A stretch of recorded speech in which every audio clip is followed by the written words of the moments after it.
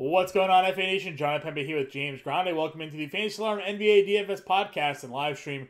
Recording here for Tuesday's four game main slate. James, nice little uh, small slate here on Tuesday. Tuesdays and Thursdays tend to be the shorter slates of the week. At a seven gamer on Monday. We got full slates coming Wednesday and Friday here. So, but though this is a small slate, it again is not low on Kyrie Irving, Steph Curry, Shai Gilgeous-Alexander, Devin Booker, all on this slate. Kevin Durant, obviously on this slate as well. You know, so there's a lot of upside potential here. I guess we'll have to see if any of these Nets will sit. Ben Simmons obviously sat Monday, the first leg of the back to back here for Brooklyn. You know, at times we've seen Kyrie or Durant sit certain legs of back to back, so that will be something to certainly pay attention to here. But all in all, not a bad full gamer. Yeah, definitely riddled with stars. The note on Simmons during like his whole like oh he might sit on because the knee soreness on Monday Yeah.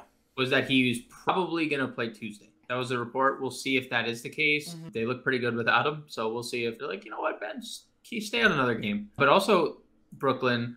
It'll be interesting to see if they play Joe Harris on a back to back. We'll see Seth Curry likely because he played the other day, sat out Monday for the back to back. So we'll see Seth Curry probably extended. So that game's interesting in general because on the other side, we don't know who's playing for the Bulls. Right. LaVine's questionable. DeSun- Dosunmu is questionable. Coby White is questionable. Drummond's already out. So there's a lot of question marks in Chicago too. So that game in general is just like who is playing and that's why there's that's the only game without a total right now. 226 and a half in golden state miami. Golden state dropped two games in a row that they shouldn't have lost. Right. and now they have to go to miami. That's tough. And then minnesota phoenix 228 and a half. That's a slate high. Phoenix five point favorites at home. Did you see cole anthony big time injury? Yeah.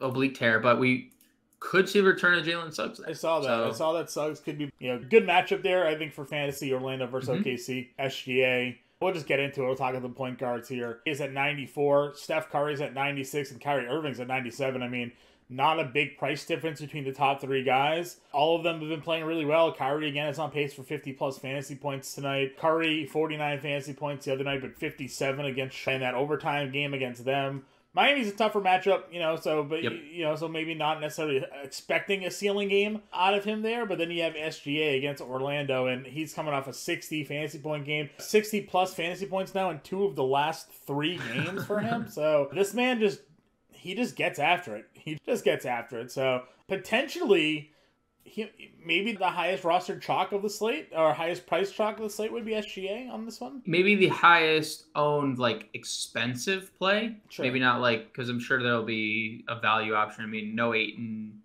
maybe no Simmons, right? So there's going to be like value. Maybe the highest owned expensive play. of the Sure. slate. I mean, they've also won three in a row, so like they're being competitive. That Dallas game, I don't know if you saw that Dallas game. too. Already ruled out though. Yeah, Josh. Giddey's yeah already rolled out. Yeah, SGA they were down like 16 with two minutes left or something in that Dallas game. Jon literally sh- never should have won that game, and then they took it to overtime, came back, and it was all in SGA Look taking shot, over. dude, the shot attempts are what's wild, right?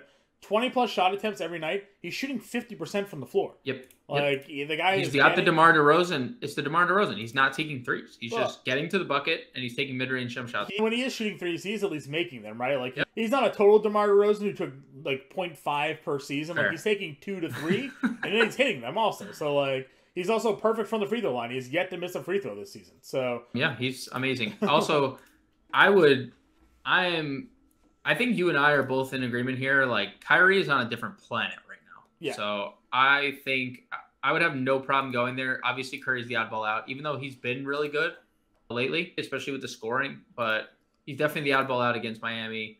I have no problem getting to Kyrie if you don't want to play SGA, Yep. or if you want to just try, or if you want to try to fit him both. yeah, we just saw this match a couple nights ago. He had he did have 59 in that game against Miami.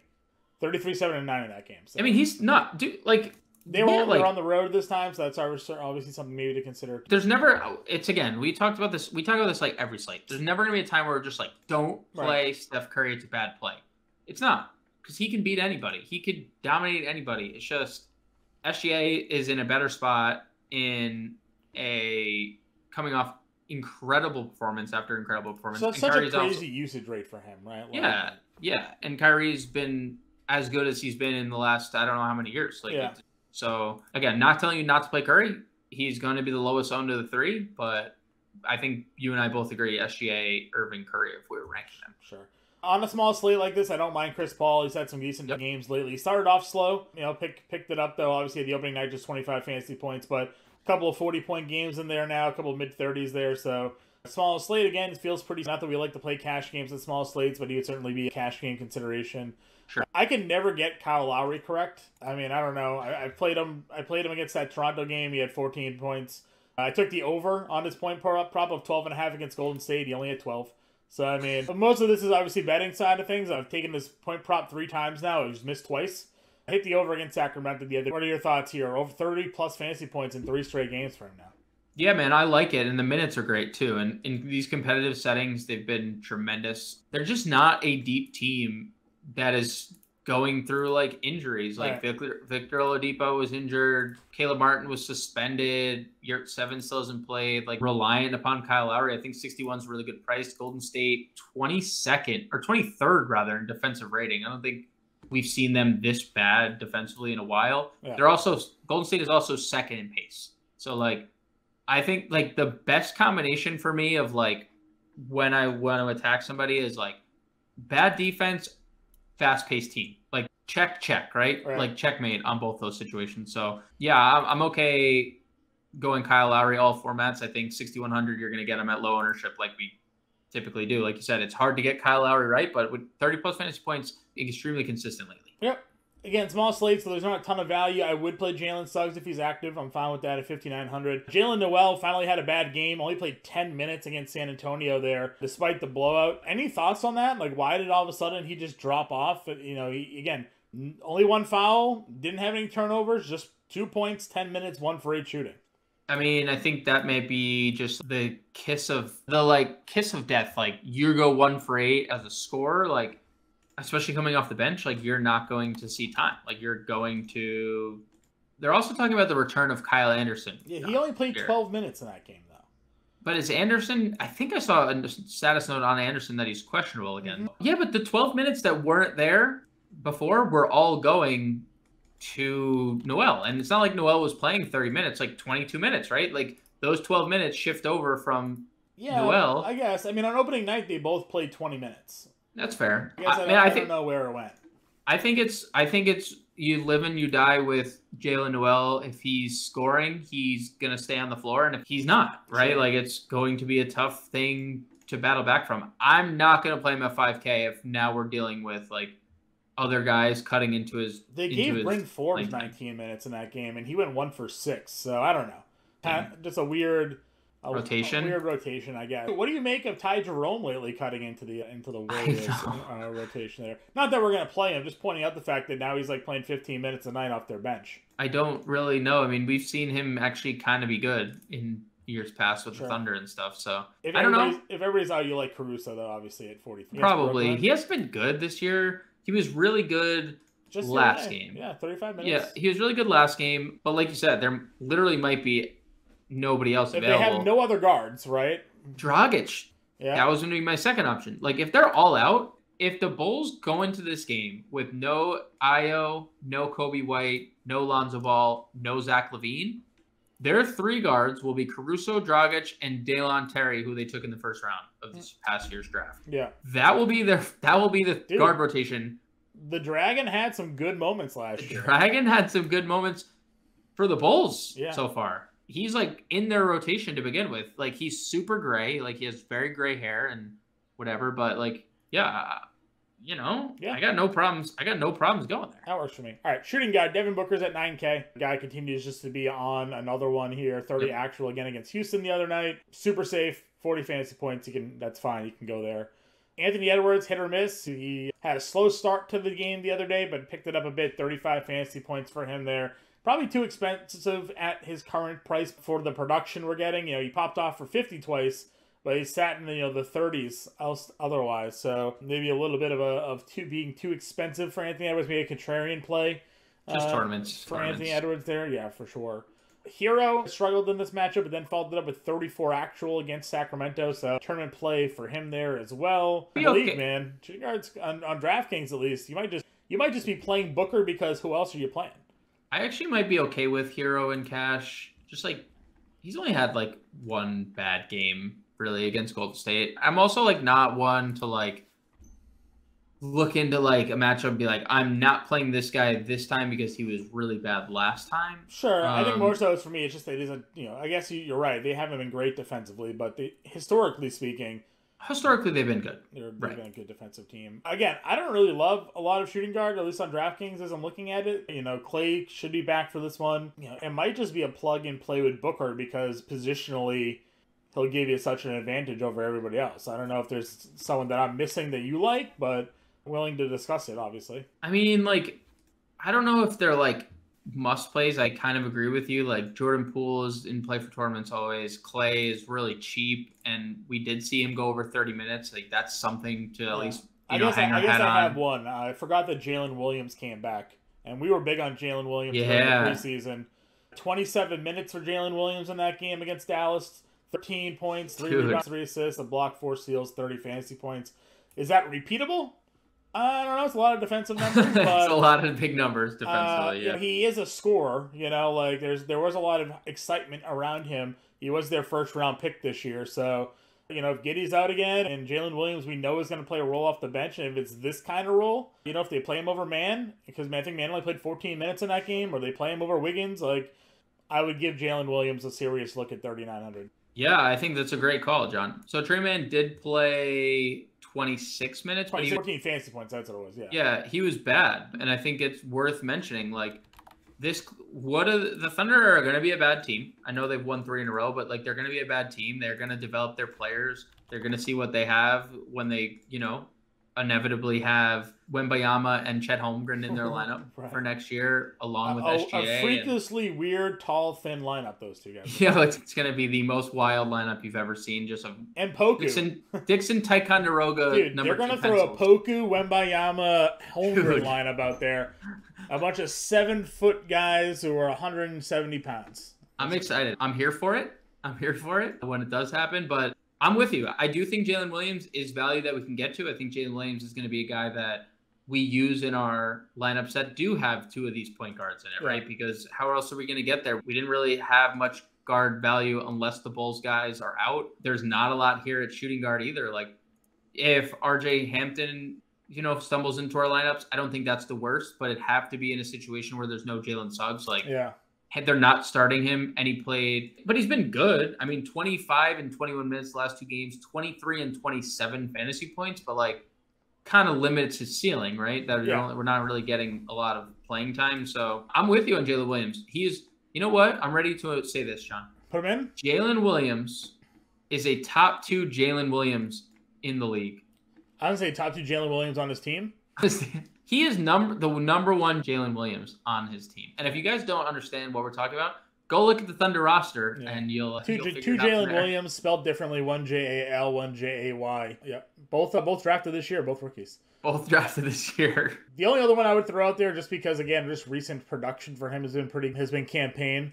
Not playing more than Yep. 20 minutes, but he's giving you 20 plus fantasy points in three straight. So I don't on a- hate that at all. On a small slate, you kind of need those little dart throws to come through for you. Small forward, Kevin Durant here at 10,200. Again, Durant's having a big night tonight, but we have pretty much correlated that to the fact that Ben Simmons is not there. When Simmons is on the floor, he rebounds, he gets the assists. Tonight, Kevin Durant, the last couple of years, has averaged like seven, seven and a half rebounds per game. He's averaging four this year. Right, and that's because Ben Simmons is out there grabbing like eight rebounds a night. So Simmons was off the floor. The counting stats came for Durant tonight, but you know, be wary of that for for the Thursday slate here. If everybody's out though, you have DeRozan by himself against Brooklyn. Yep. DeRozan and Vooch against Brooklyn here. That's gonna be probably a pretty chalky play. Yeah, the DeRozan thing is annoying because he was so dominant against the Spurs offensively Yeah, and had one one. one rebound, one assist, and one steal.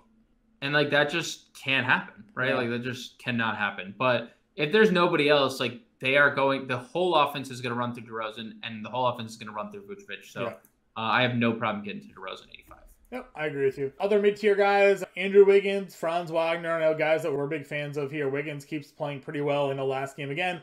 Only 25 minutes in that game, so I won't hold it against him, but pretty consistent production otherwise. Wagner's been a guy that we've been a big fan of as well. Again, a couple of tough matchups for him, but someone that we still trust most nights here. Yeah, and he was the chalkiest play of the slate two slates ago. When we first saw Point Franz Yeah. against Charlotte, and that game just blew out. I think unfor- it was unfortunate for him, right? Like 22 fantasy points in 23 minutes. So if he gets us 30 minutes, like who probably gets us 30 fantasy points, Yeah. right? So like like you said, not gonna like completely hold it against him. I think this is the matchup. This is a good matchup for him against OKC. And we he is like if there's no Suggs, like we're gonna see him start at point guard again. All right. And they're gonna run the biggest lineup in the history of all lineups. And I if Jonathan Isaac ever returns to this team, they're actually able to run like four seven footers on the floor at once is going to be incredible. Um, but I do think Franz is back in play. I do think Wiggins back in play. Neither uh, like Wiggins is not going to be rostered whatsoever, and everyone's going to pivot to Franz in Yeah. spot. So just keep that in mind when you're building your lineups. I do like Ben Simmons if he's active in this game, by the way. Sure. Good. Price tag's fine. It's reasonable. And he's 28, 28, 35 has kind of been a ceiling, but he's going to flirt. He should flirt with, you know, triple-ish, double and type numbers. So I'm fine. If you ever get to double, you get the boost there. Bol Bol, for whatever reason, is a small forward, power forward on DraftKings. I don't know, understand why the small forward eligibility is there. 30 and 27 minutes, though, man. Uh, I'm getting you a jersey. 16 and 11. I, I mean, dude. I'm buying you a jersey. He's legit. I'm He's- buying you a jersey. Denver want you to messed up. Denver messed up just like letting him go. up. So big mistake there. Lu Dort played 40 minutes the other night in that OT game. Uh, you can always just kind of throw some Dort in your lineup. That's fine. Let's see. Caleb Martin's out there, but don't love the spot for him. Any other small forwards for you? T Sizzle in tournaments back to a price that like I think we can Yeah, under five. entertain entertain. I think that's it. Like Chuma Okeke back in the rotation, but not like the Charlotte game was because of blowout. Yep. And then at the Dallas game, I don't really know why he played 25 minutes, but I mean that's fine. But like eh, it's very unreliable. How about this, Jon? What are your thoughts? Pat Williams played 32 minutes last game, and he hadn't been playing a lot at all. I mean, he hasn't been great at all, Yeah. but he's 3,500. I don't Shot know. volume 30, is my problem for him. If he- he's got to like absolutely hit a home run with his Yeah. with this counting stats, or Agreed. otherwise like the numbers just aren't Agreed. aren't Agreed. And you know what? I made that rule. I made that rule in our Discord today. I said I am not playing zero floor guys. So you know what? I take it back. I'm with you. I said it in our Discord today when someone asked me about PJ Tucker. I said I'm not playing zero floor guys, and if they beat me, you know, so be it. Sure. PJ Tucker, 13-5, 1 and 1, like good for you, PJ Tucker. Like go you. Yep, I agree. All right, power forward again. A lot of guys we've discussed already, but Towns at 8,800, a pretty reasonable price tag for Karl-Anthony Towns here. Coming off 50 fantasy points, he's gone for 40 plus in four straight games. So willing to pay the price for him on a small slate like this against Phoenix, especially no Ayton. Butler against Golden State at 84, again a spot I'd be willing to pay for him there. He went for 59 in this spot. He kind of gets up for these kind of games. And then Banchero there, 7,900 bucks against OKC should be a pretty popular option. Yeah, I mean one bad game, he's back below 8K. So. You know what to do. And like bad game by like he scored 18 points. He just like didn't give you the counting stats he usually does. So Well, six for and six for twenty. Like he goes, if he goes like ten for twenty, yeah, right, or nine for twenty, like we're talking about a guy who scores you 24, 26 actual points too. you commented on Draymond in these types of games. He did play 30 minutes in that one. Again, he's given you a range of 20 to 35 fantasy points lately. So if you want to throw him in your lineup, you certainly can. Again, no one's gonna fight you on that. Cam J, Max Strus, these guys are all in that 5K tier. Uh, both of them are fine for me as well. Yeah, I love Cam J. No, Ayton left the Pelicans game. Cam J 16 points. Yep. Doesn't play in the Houston game. Cam J 19 and 7, 5 or 11 from 3. I think Cam J is in for big games anytime DeAndre Ayton's not on the floor. Yep. I won't argue with that one. And then again, like I said, you can play Max Strus if you want. Bazley's played over 20 and 3 straight. Any consideration for him at 41? They may need him just for size, right? Yeah, maybe. And he's been productive in those games too. Almost three double doubles. Yeah. So I don't hate it for tournaments. Right, center Bears at 82. Vucevic against Brooklyn, probably the chalky play there against you know against Brooklyn. Bam against Golden State. Wendell Carter. Where are you? How are you ranking out these center guys? I'm happy that Gobert's price is falling, but I still don't have a ton of interest. Maybe just in tournaments, just given we're gonna see Bismack and Jock Lan- Landale. We got a ceiling Um, game though. 20 points, 21 rebounds out against We the did, Lakers. we did. Every so often, we you know, there's a full moon and we get the Gobert game. So I, I don't hate it. I do think Vucevic is going to be popular. I think Bam is going to be popular. I played Bam in this spot against Golden State the other night. I loved it, and I, I'm going to go right back to it. Golden State is just oozing fantasy points to front court. Right. And Bam fouled out last game. Like, who knows what could have happened if that if he doesn't fall out? Like, maybe he plays a couple more minutes. And so I'd be willing to go back to Bam 74. I actually think if LaVine plays, the chalk is Bam. Okay. I think the rostership would shift to his direction, and if he doesn't, we pro you're probably right. It's probably Vucevic. So I think depending on the LaVine news is probably depending is probably where the ownership. Okay. Do you have an opinion on Biyombo versus Landale? Yeah, I think Landale is better. Okay. He is a better fantasy point per minute guy. He's actually good offensively too, and this was his the case in Australia where he played. This was the case Antonio. in San Antonio where he was last year. Like he's just a really good fantasy point per minute guy. Whereas like Bismack, we know can be like really stale offensively. Like he can. can. took one shot against Houston. I mean, it's just like again, zero floor guy. Like he can rebound and he can block shots, and he does have the uh, ability to like score because he's very active. Like he put the ball back, Yeah. like he put backs and stuff. But like I just, it just feels like Landale is a better fantasy point per minute guy, and even if he doesn't start, like the start of Bismack, you know, you know what's gonna happen, right? Sure. I see the future here, Jon. Yeah. Bismack gets Bismack has the starts. Everyone plays him. No one plays Landale the other day. Landale or Bismack gets in foul trouble. Landale comes in, Yeah. dominates. It's going to be the complete opposite. Bismack's going to start. Everyone's going to play Landale. Yeah. And Bismack's Bismack's, gonna give us a double-double. Bismack's going to go for 50. Yeah. Yeah.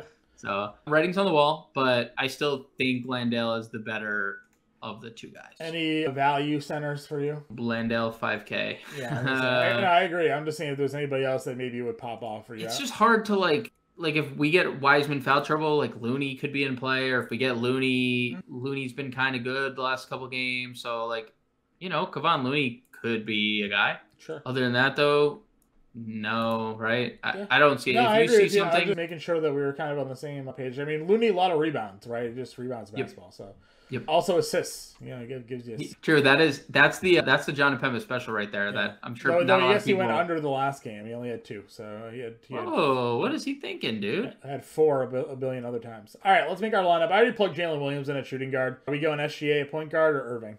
I think we. I think SGA gets the nod, probably considering it's the back to back for Okay.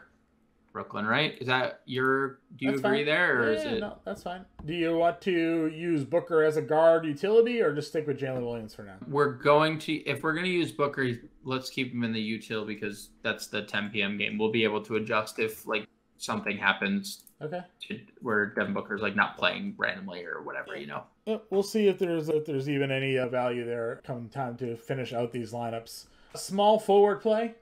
Or- So I think I was I might be getting ahead of myself. Jalen Williams can play small forward too. By the way, we can move around if we want. We didn't like we didn't really like shooting guard, right? Unless we were playing Devin Booker. Correct. It was Jalen Williams as Devin Booker. So I was thinking for power forward, we play Cam Johnson, or we could play him in the forward spot. I feel like he provides like pretty good value. Yeah, I wanted to play Paolo probably a power forward. Okay, then do can we do We, can do, Cam at forward. Cam at the forward spot. I feel like Yeah, that's that's fine. Cam Johnson, 54. Let's see. So we're gonna run out. We may have to move off of Booker here because I put I threw Bam at center. okay. Um, we, I mean, I'm okay with. I'm perfectly fine not playing. Sure. Do you want to go Wiggins at 69 or Franz at 65 or Bol Bol this- at 57? Is this small for small forward? Yeah. So what do we have? We have SGA, Jalen Williams at point guard, shooting guard. We have Bam at center. We have Cam J at forward, and you have Ben Bankero at power forward. Correct. And so 53-33 is where we are, right? Is that where you are as well? Uh, a 53-33. Yeah. Okay. We could not What are your- go Bam and go DeRozan. What are your thoughts? What do you think? I mean, Obviously, I like DeRozan a lot. and There's- would the pivot be to Jock? yeah, we, yeah, we'd have to play Landale. You want to just experiment with that? We'll do It- Jock at center. It's five K pretty much in position for guarding utility at that point. Here's just the thing, and it's just what we talk about. Like, like we can't like building with DeRozan is tough now because we don't know if the Bulls guys are out. Like Right. they're just questionable. So like I feel better about not using him Okay. just because we're not playing like we're not playing DeRozan if LaVine's in right at 85. Like Yeah. that's just too. It's just not something we can get to. I'll move Cam Johnson into small forward. And then I think he's only power. I think he's only Oh, power right, he's forward. power forward only. Okay, so back to forward he goes then. Sorry, Cam. I wanted you to have a position you don't play. I know. Everybody else has multi positions except for you. You could always the handy dandy Fanduel is always an option for you, Jon. 5,300 small forward guard. Let's see, what do we got at guard? Maybe we'll we can maybe come back to the. Uh, Yep. There's not ton. Like Klay Thompson is he played 29 minutes against Miami. I had 25 actual 25 fantasy points for them there. would you play Landale at util as well? Sure. Would you like No, the I two like- I Phoenix like- guys? No, I like Jock's fine at, at util. 5,500. We could go Jalen Suggs at guard if you wanted to, assuming he plays. Assuming he plays, that we just don't know the like. We could. Kyle Lowry. Kyle Lowry. Want to see what Lowry does for us? You like Ben, Lowry Ben too, right? Simmons at 64 as a small forward. Yeah, I mean that would actually give us someone that we'd be willing to use at small forward. Yep. And then that'd be $4,600 for a guard, which would be Caruso or Campaign. It's a, it's one of those two because or Dragic if everybody's out, 3,300. yeah, or Dragic. Yeah, We can, I mean, Simmons can also fit it as a guard, and we would have 46 for a small forward, which would be Aaron Wiggins. Aaron Wiggins still played a lot of minutes, 27 minutes. right twenty seven. Still not like the greatest of spots for him there. Yeah, it's and again we don't know like I, I feel like his minutes are like so on the fence. Sure. Maybe is that? Do you agree with that? Yeah, like we, No, no, I do. I Uh, don't know if we could trust his minutes. So we go back to Kyle Lowry. It's a $4,900 small forward, which is Royce O'Neale. It's Caleb Martin. It's Tyson Ross. It- Look, it, Royce O'Neale's been Royce O'Neale's he's been good tonight, I guess. He did. He gives you 20 fantasy points every night. Like, yeah, on a four game slate, there's a floor. There's a solid floor for him. Yeah, I I'd don't, be. I don't know that's why fine. you hate so much. Guys out there. I, I don't. He's just like, I sh- look. I'm okay with it. I'm okay with it. Just saying. I'm come. I'm okay with it. I'm okay with it. You're right. You're right. All You're right. right. All right. Uh, let's see. So if we did that, or if we did Wiggins is more expensive than he was. Bol Bol's fifty seven. If we do Bol Bol, we have a fifty three hundred dollar guard, which is Over over Ben Simmons. yeah. I mean, Bobo is like, just like But do, like does his role change with Suggs back though? Does he go to the bench probably? he could. I mean, they most likely start Suggs, right? I can't see a scenario where they maybe don't because just they're using they're using Franz Wagner as their point guard. Like Right. that's not going to stay. That's not going to No, continue. Or at least I don't think. At least I don't think it's going to continue, right? I wouldn't think so. Would you rather Suggs or Lowry or or Simmons? I like Lowry. I kind of like Kyle Lowry, dude. Okay. Is that crazy? No, like, is it? No, Kyle Lowry's No one's fine. gonna play him. No one's gonna play him. All right, what do we got then? Hundred dollars left over. We have SGA, Jalen Williams at shooting guard, Royce O'Neale at small forward, Paolo Banchero at power forward, Bam at center, Kyle Lowry at guard, Cam Johnson at forward, and Jock Landale at utility. But hundred bucks left over. That is the lineup for your four game slate on DraftKings. I believe Ryan Kirksey has the playbook for Tuesday.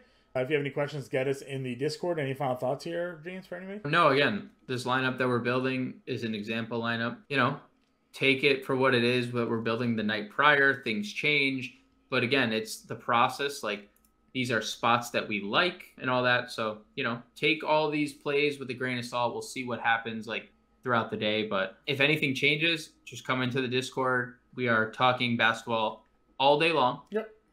24 7. You'll see our process played out. Ryan Kirksey's playbook in the value, the new value video that you can catch on our YouTube channel, Yep. along with this podcast, you know, depending on what platform you listen to. So, you know, take everything we say now and then apply it to the process throughout the day as more things play out. And uh, yeah, let's keep being successful and having a big night. Jon. Yep.